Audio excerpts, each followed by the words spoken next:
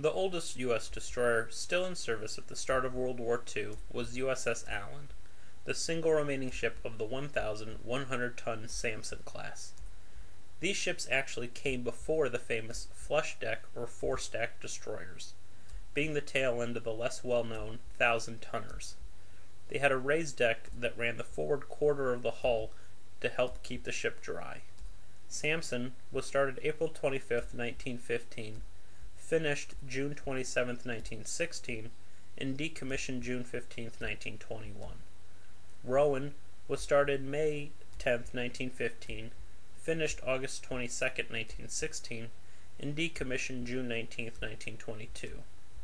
Davis was started May 7, 1915, finished October 5, 1916, and decommissioned June 20, 1922.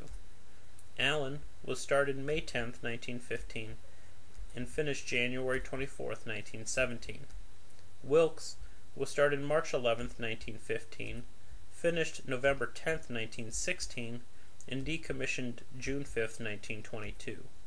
Shaw was started February 7, 1916, finished April 9, 1917, and decommissioned June 21, 1922. Of the five decommissioned in mid 1922, all survived until the mid 30s. This was done by transferring them to the Coast Guard. They would spend nearly a decade and a half with the melancholy task of trying to intercept bootleggers as the U.S. struggled to enforce prohibition. When the 21st Amendment was passed, they became superfluous and were finally scrapped. Main armament was four 4-inch 50 caliber low-angle guns in open mounts, one on the bow, one on the stern, and two midship with one on either side. A capable if uninspiring gun at the time of World War I, it fired a 64 pound shell at up to 9 rounds per minute. Needless to say, by World War II, with a low turning and elevating speed, they were incapable of engaging enemy aircraft, so weren't acceptable destroyer weapons. Still, being light, they did make excellent guns for submarines on the occasion they attacked enemy ships on the surface to conserve torpedoes. Originally mounting 12, by World War II, Allen was down to six torpedo tubes in two triple mounts, one on either side.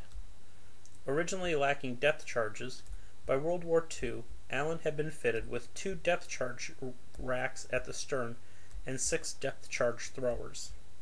For armor, they had Moving right along, propulsion came from four boilers that generated 17,600 horsepower to two shafts. This moved the ships up to just under 30 knots. As with most World War I era destroyers, their turning radius was poor, a severe handicap when trying to hunt a sub. Allen was in Pearl Harbor when the Japanese attacked.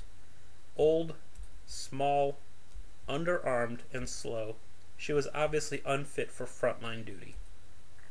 Despite this, she played a very crucial, if unglorious, role. Aside from the usual escorting convoys, she served as a gunnery training ship. More importantly, she served as a submarine and anti submarine training ship. Many of the Pacific Fleet's best submarines gained valuable hands on experience by hunting and being hunted by Allen.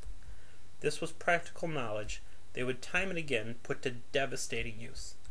It has been argued, aircraft and A bombs aside, the U.S.'s submarine fleet alone could have brought Japan to its knees, just as the U boat nearly did to the British Empire in both World Wars.